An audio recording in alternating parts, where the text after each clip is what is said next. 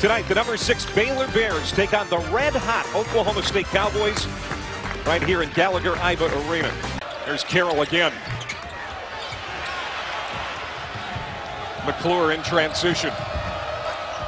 Got it out the window and in. McClure is starting. Forte, an extra bounce pass. Look at Devon Dillard. That is what he has been doing here in recent weeks. Was right by you.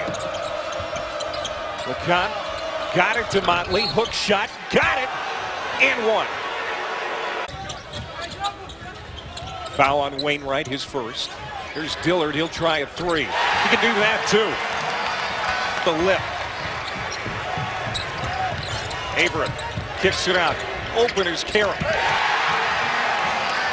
You see how they match up now. You, now you see down low, you got Devon Dillard guarding Johnathan Motley.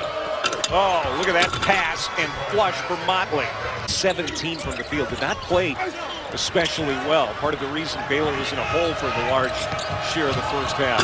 And then he flushes that one down, so he's starting to get in rhythm. Baylor's defense has just been rock solid. They never give you anything easy. Backdoor cut! Carroll on the feed from Evans. Wainright lobs it to Motley. Another dunk. And a foul. 4-5. Again, the call from the bench is no size, so they go right inside. There's finally hitting a three. Shooter against the zone. Motley banging inside with Hammonds. Got it and one for three.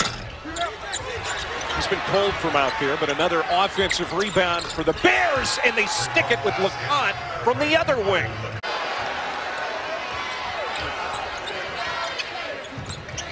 Evans used all of his timeouts.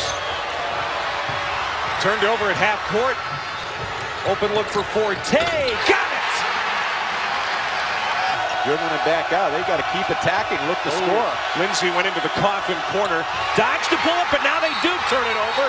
And Wainright calls the foul. Looking to score. Another turnover. Evans! And Lecomte has lost it. 10-0 run. Baylor trying to stop it. They can tie. Evans got it. He takes the shot. Well short. Forte runs it down, backs up, launches a three at the buzzer, and he draws iron. And that's how the game ends as Baylor escapes Stillwater with a 72-69 win.